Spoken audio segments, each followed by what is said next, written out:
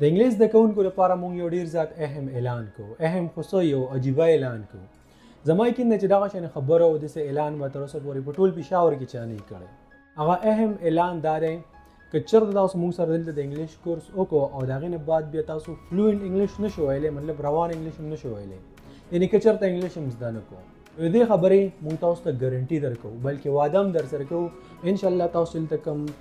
فیس ورکړی دی داخله هم ورکړی ده حتی چې تاسو په پین کاپي او غیره باندې څومره خرچې راغلي دا هم مونږ تاسو ته واپس درکو مطلب دا چې تاسو به نور ځای هم ټرای کړي وي یو ځل ته مونږ هم ټرای کې ریسک خو مې درته بیخي ختم کو که چرته انګلیس دنه کو تاسو یو یو پیسې دلته چې لګېدل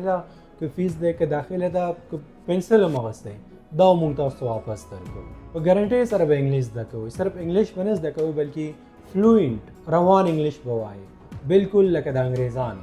او د کورس په اینډ کې به ستاسو یو سټوډنټ نه